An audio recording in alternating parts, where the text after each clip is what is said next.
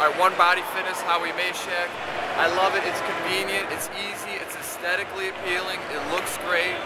Uh, it's not a cheesy thing. I just don't have this guy hung on on, on a regular piece of cardio equipment. So I love it.